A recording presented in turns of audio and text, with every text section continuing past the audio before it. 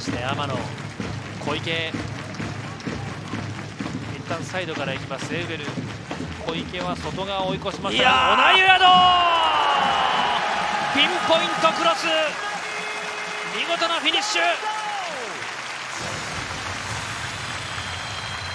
ぽっかり開きました。完璧なゴールですね。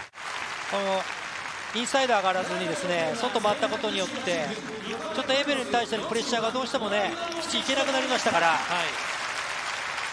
その小池のランニングによってできたスペースと空間であ時間と空間でうまくですねエーベルが正確なクロスを入れることができたと、まあ、あれだけねボールを蹴る選手が自由であればオナイも自分のタイミングでポジション取れますし、入っていけますからねサッカーを愛する全ての皆様へ。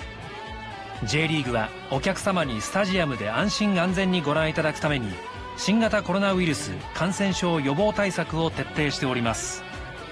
これからも皆様にスタジアムで全力のプレーを熱気を臨場感を一体感を感じていただくために J リーグは対策を徹底します。スタジアムでお待ちしています。